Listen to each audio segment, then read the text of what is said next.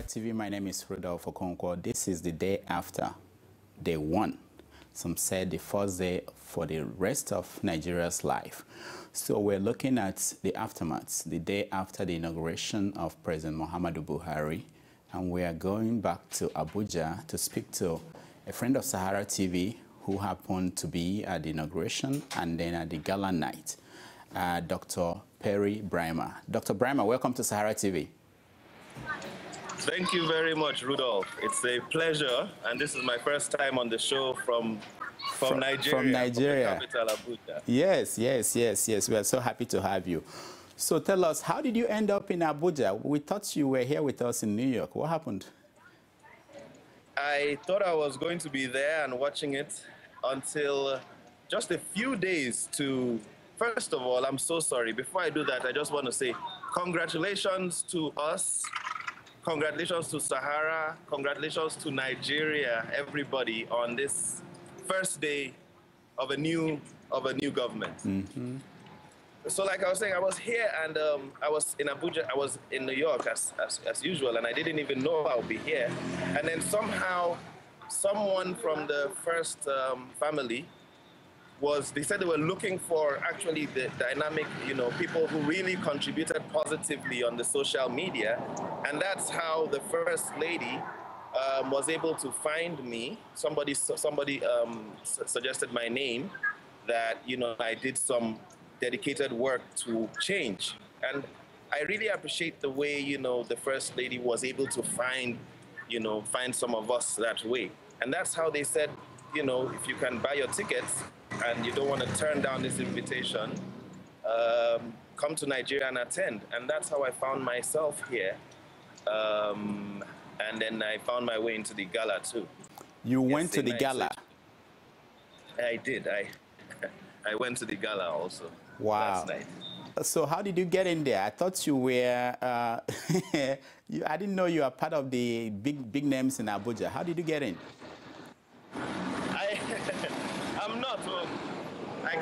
Can't I can't say I'm part of the big names.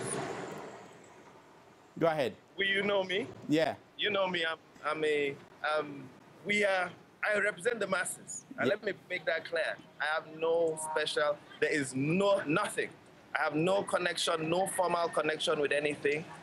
This was just appreciation. This is strictly appreciation for, for our work and you'll notice these are things the president went on to say. They really appreciated the work of the common man in this. Mm. And in fact, I, I feel honored that, you know, at one point they gave me this invitation. I said, come and attend. And then someone said, Dr. Brimah, you, you need to come for the gala. So I'm not going to say I gave crashed the gala, but I found myself in the gala too, and that was nice. Wow. So how was it like? What happened there? Where people, um, I mean, where did it take place, and how did it go? The gala. The gala. The gala was. I know. There's one problem which has been happening with the inauguration and the, the whole inauguration process, which is now, I'm not here to start criticizing, but I don't know who organized. There was a problem with a lot of organization from the um, inauguration proper to the gala, there was some little hitches in organization, and you can expect that to happen when you know you have a transition period.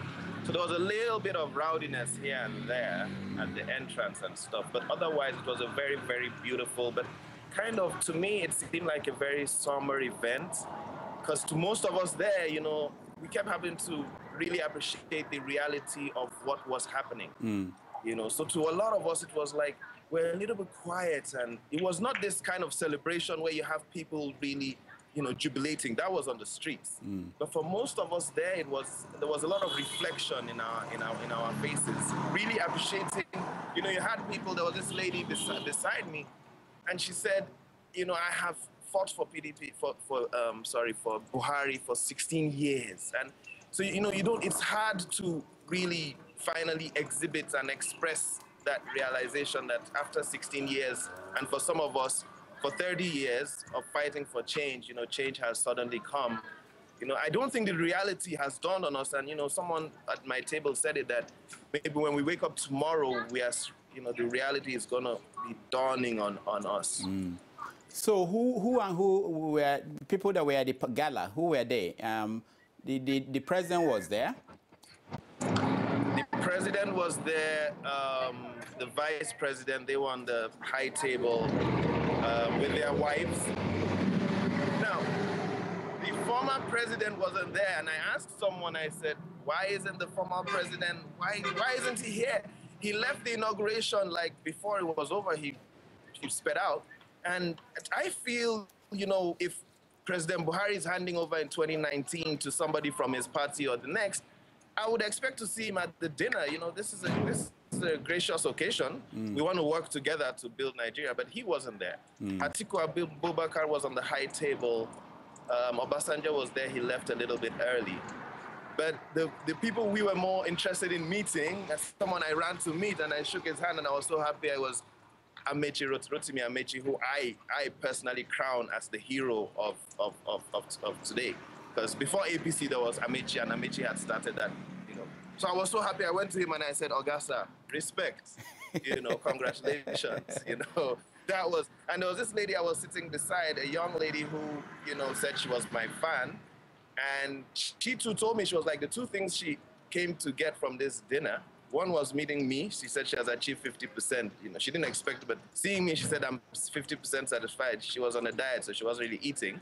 She said the second is to meet that she's gonna walk, run to Rotimi Amaechi also, and just say, you know, just shake his hand. So so many people really, you know, you know, appreciate Rotimi, uh, Rotimi Amaechi for what he did. Mm. And then the other who and who's were there, like um, of APC, like um, Festus Keyamo is another person who I had gone to greet a lot of these people, I go to greet them, and you know, I appreciate one thing about me, which you would know, is um, you know, the you know Machiavelli type individual. So I appreciate people who are revolutionists, who don't stand and you know allow things to just happen, who actually move to change. Mm-hmm.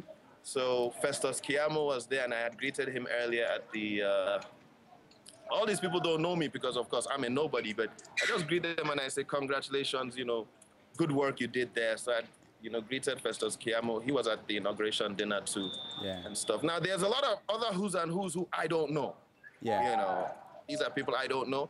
Just if I could just interject, at when we left the inauguration, we went to um, the hotel where most people were lodged, which was the um, Sheraton or Hilton or so. Yeah. And there I saw Ngozi Okonjo-Iweala. Now. Wow. I, for the for the first time, I saw that she's not really that tall. This was the first time I'm seeing her in person, and she's a small statured lady. And the one thing I could see, I wish I could have taken a picture, and by the time I re recognized who she was, and I said, and I just said, you know, goodbye, Ma, but she was already gone, was she didn't look too happy. And, you know, Abdulsalami Abubakar too was at the inauguration dinner, and a lot of people, I don't know, I don't, I, I, I believe people should be happy. I'm not sure a lot of people are really happy like like we and we on the streets are, you know. Yeah. so it's very interesting. We've been asking people, did you, um, people that were there at the, the event, whether they ran into any of the PDP people or any of the presidency people. It's interesting that you ran into Ngozi Okonjo-Iweala. And um, so what, what else happened at the, at the gala? What else happened? Did people dance? There was no dancing. Um, there were some performances. There were some performances by uh, some artists, including some from Niger Republic. So there were some performances. There was some poetry, which was was it poetry? There was some, yeah, some performances. Um, a couple of speeches. It was, it was like I said, it was a mellow occasion to mm. a lot of us. It wasn't really, you know. Uh, it, it wasn't electric. Mm. You know. Now I saw a picture simple, of you. It was a simple occasion. I saw a picture of you. We were showing that those pictures of you. Were you with the first family in one of those pictures? Yes, I would have been with the first family. Wow. Throughout, I was with the first family. So anywhere where you saw me, I was, especially it was ladies probably in the picture. Mm, yeah, yeah. It was the first family. Oh, that's that's interesting. Yeah, I took pictures with some other interesting guys like um, Is, Ismail, um, APC Youth Forum. He used to be in the Youth Forum. He gave this dynamic um, speech um, during um, Millennium Goals. Was it? What's the name of that pro- program they did? Millennium. This Millennium. Yeah, yeah. Um, youth. Youth events. Yeah, he gave this. event. He gave this electric speech, you know, this uh, Benga Gold. I met I met a lot of dynamic individuals who, because the truth about this event is the elites didn't do this. We did this. Yeah. And it's very important, and I hope that the Buhari government does appreciate and recognize and doesn't make the mistakes that the government before it did. We did this. We should be represented. We should be given power. You know, at least more than half of power. I'm not. I'm not one of the 30% of not, or nothing people. I'm 60% or nothing because the youth are 60%, 70% of the population, and we are 90% of what really goes down. Mm. So the youth that I met, I met a whole bunch of you know dynamic youth, and um, the that that was the feeling. That you know that was the greatest part of you know. Mm. Now, now of, one of day, one, one day after, do we know of any political appointments? Uh, at people uh, talk, what are people talking about? Appointments and who, who are the people that will be in this government? To be frank, you know, even through the friends I have, it's quiet. It's this. I think it's still quiet. Maybe from now we'll start hearing, but I haven't heard any. Maybe I'm not connected that way, mm. but I haven't heard any anything about appointments. I've seen some disappointments, but not appointments. Yeah. I have some disappointments. Okay. So now, um, so the, the nature of uh, the mood of the country was electric yesterday. How is it today? Are people still optimistic? Are they, are they, what are they expecting in the next few days? You need to see the party on the streets yesterday. And that's the thing. Like I heard that um, at um, the governor swearing in in Kaduna, inside, you know, you have, it's, it's different inside and outside. This was a victory for Buhari on the top and for the masses at the bottom. Mm. Within the elite, they are confused. Mm. You know, it's it's a whole new thing. For instance, like when I was when I was coming over, I said, okay, since I'm being invited officially, are you gonna pay for my ticket? And they said, we are sorry. You know, try and find your way here because we are not just releasing money, you know, general or the president is not just releasing money like that. So, you know, so on, within the elite, their joy is measured and tapered. But on the streets, they were wild. Mm. The minute he was sworn in, the crowd started rushing, and I'm sure you guys captured that because, you know, I saw um, Sowore at the event, so I know you guys captured that. The minute he was sworn in, people rushed and passed all the barricades. No barricade could stop them. They rushed all right, you know, around Eagle Square. And on the streets, my friends on the streets took recordings of the jubilation. You need to see the way everybody, north, south, east, west, they brought a trailer load of brooms with APC on it. Wow. And distributed a whole trailer load and distributed the entire thing. And everybody just had brooms here, there, all over, running on the streets. You need to see the atmosphere on the streets since yesterday has been just electric. Wow. You know, so on the streets, the jubilation is with, you know, it's it's it's yeah, we pray people don't die in, in, in Kano. The yeah. minute I came into town, my friend who picked me up, he's a guy in Ends. He's one of the prolific guys from Borno, from Borno in Ends. He, when he came to pick me, he, he had he had the flag, the Nigerian flag on his car, yeah. and he told me that the minute President Buhari won, he bought that flag. I bought a flag too. I took a flag to the event. I was one of the people waving. And now I've never bought a Nigerian flag in my life, but they said the flags they are selling so much because for the first time in some of our, it's been 30 years we've been under this whole Babangida to uh, his cousin Abdul Salam to Obasanjo to Jonathan. This has been 30 years.